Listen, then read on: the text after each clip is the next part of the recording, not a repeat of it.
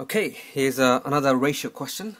Uh, this is a slightly different type of question. In, uh, in this case, we've been given a ratio. So as an example, let's say we're making some pancake and this uh, pancake uses one part sugar, two parts butter and three parts flour.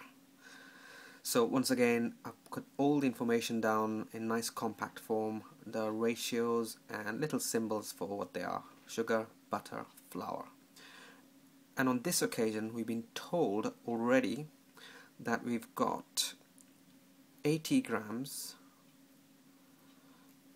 of butter. And the question could be, if we've got 80 grams of butter, how much sugar will we need and how much flour will we need. This once again boils down to the number of parts we're looking at.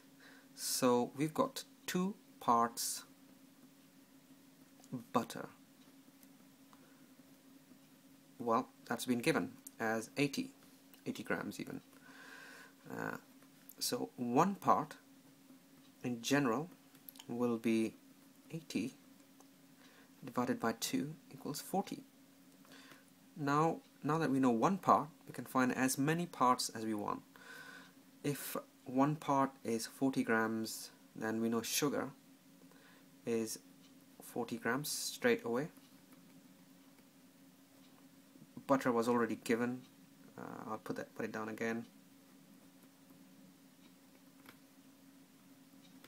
And flour, which is three parts, will simply be 3 times 40 because one part is 40 that means three parts must be three times that which is 120 grams.